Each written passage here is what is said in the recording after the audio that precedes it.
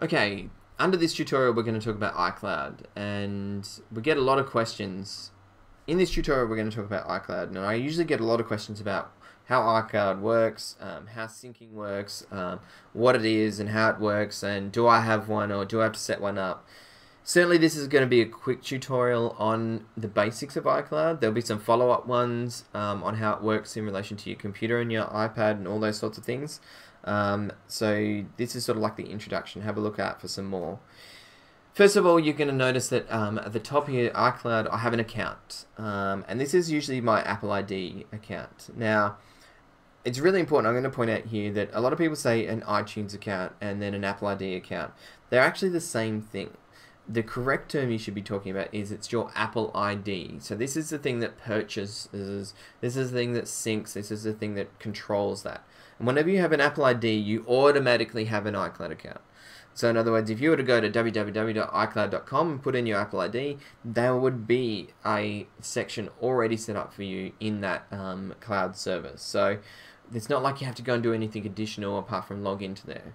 Now, everybody that starts with um, an Apple ID automatically has an iCloud account, one, and you already automatically have five gigabytes of space that you can save to.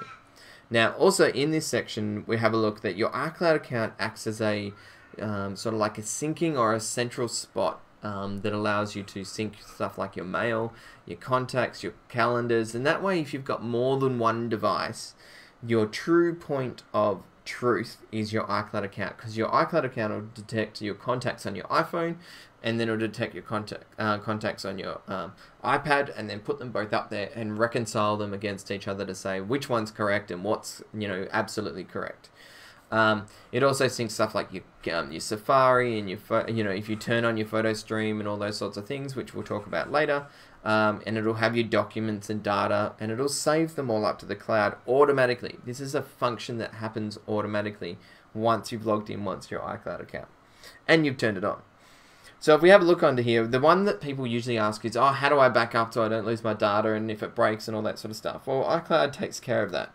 Now, it's not the only place you can back up. You can back up to your computer. That's fine, no trouble.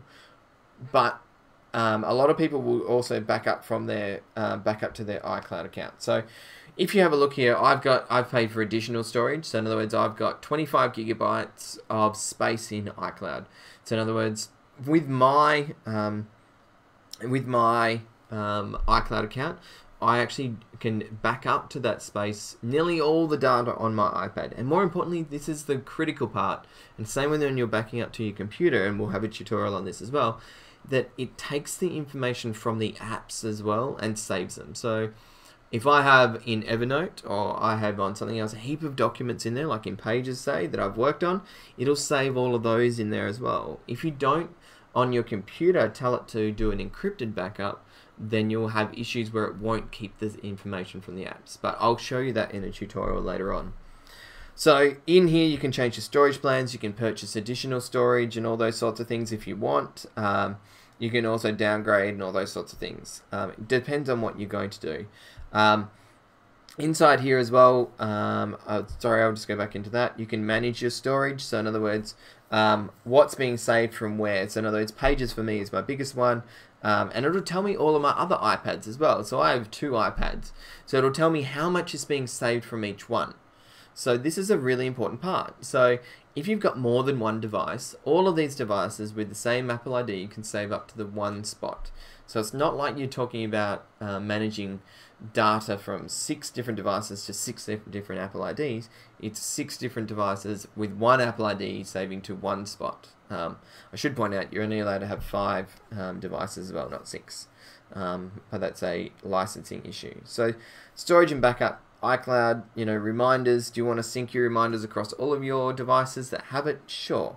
This is going to be the thing as well that actually receives my um, uh, going to receive my messages and all that sort of stuff. Well, when we talk about iMessage and it's free using data, it sends it to this uh, um, tyrrell.bradley at me.com account. So it's really important to understand that that's what's going on in iCloud, and I'll tell you more about that with some tutorials where I'll show you what's going on the iPad, and then show you what's going on on the um, iCloud itself with documents and all that sort of stuff. So iCloud, set it up, free messages, controlled by Apple free space um, keeps everything synced, and when you run out of data, you just need to go and have a look in there and see what apps are being synced and how who's got the most in it. So it's like managing anything.